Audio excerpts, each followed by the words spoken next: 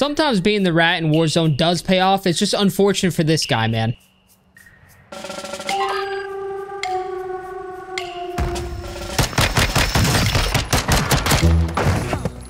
Thanks for the loot, buddy. Hey, hey, fuck yeah, bro. Anytime. I'll bring some more back uh, when I come back from the gulag. Will you actually, bro? Yeah, man. What was the game plan like coming up here? You were just like coming to scope it out. Thank you.